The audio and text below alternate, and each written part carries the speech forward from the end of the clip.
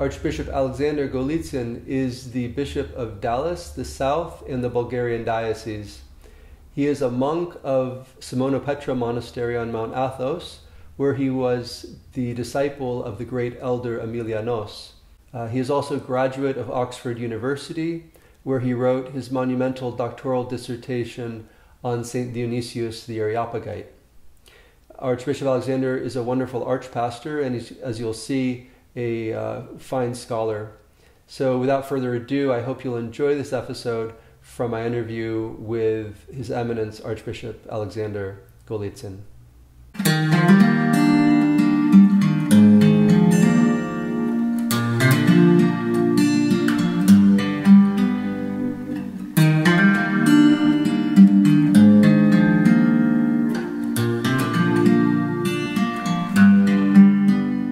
Saint Dionysius the Areopagite is mentioned in the 19th, book, 19th chapter of the book of Acts.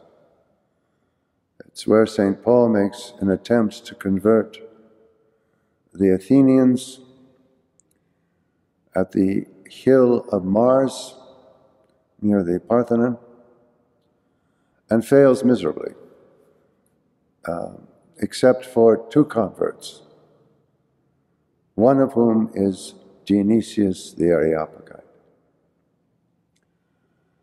Now, the question of who, the question who is Dionysius the Areopagite is somewhat complicated by the fact that somewhere around the turn of the sixth century, we aren't sure exactly when, but that's a pretty good estimate, a body of works appeared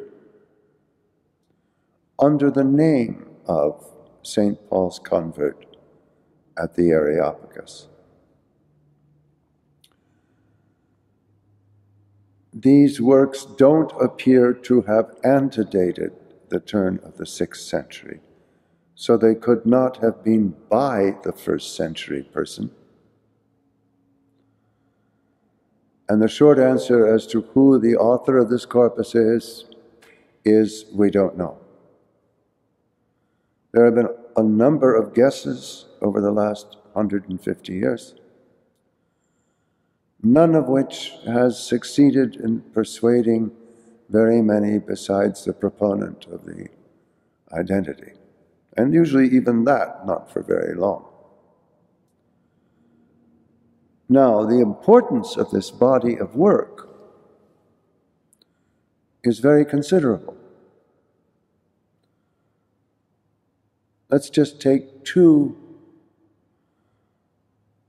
one phrase and one word, which this corp, which appear in this body of works for the first time. The word is hierarchy. It appears to have been the invention of the writer of this body of works because it's not encountered anywhere prior to these works in Greek literature, but it appears almost everywhere in Christian literature thereafter, shortly thereafter. So to say that it was a successful coinage is to put things mildly. The other is a phrase which should be familiar to us. The phrase mystical theology.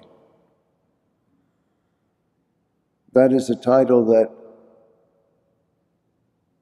crowns the shortest of the four main works ascribed to St. Dionysius.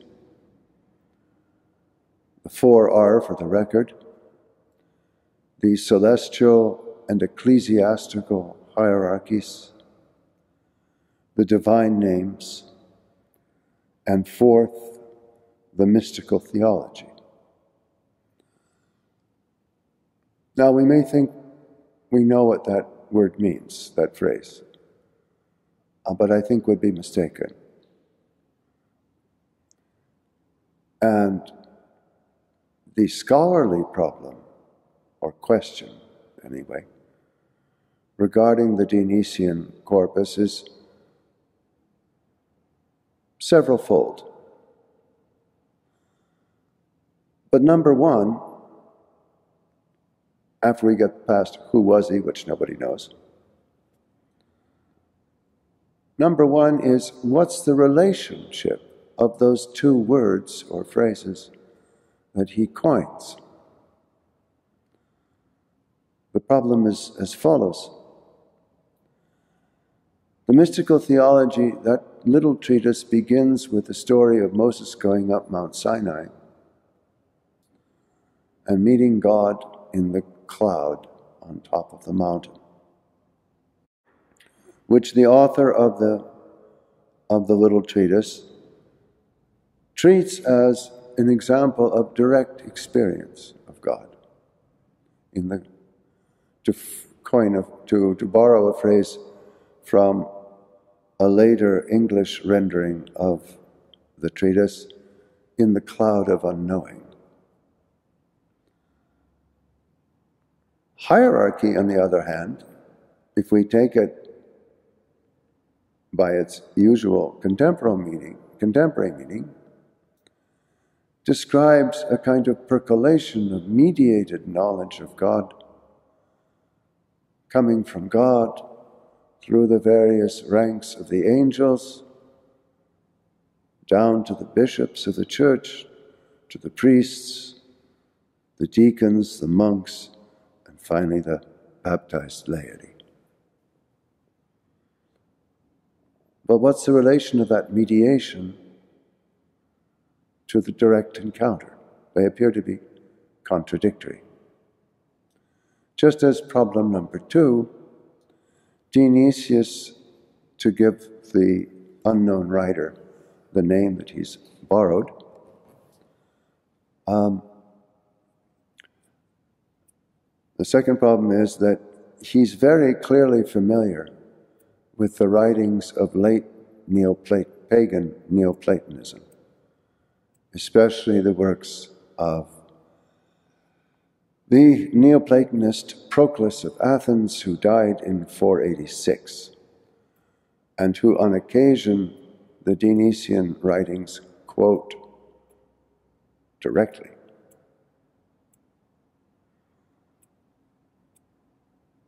Thus, the second problem is is this a Christian?